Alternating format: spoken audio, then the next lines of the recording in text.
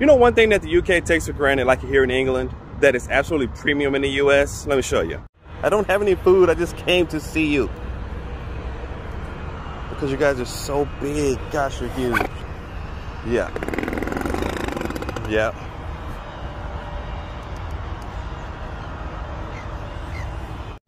So we don't have swans in the US. I mean, let me take that back. There are swans in the US, but they're like everywhere here. And you have to go to zoos and special ponds to see them in the US, but they're totally okay local here. But in the US, swans are premium.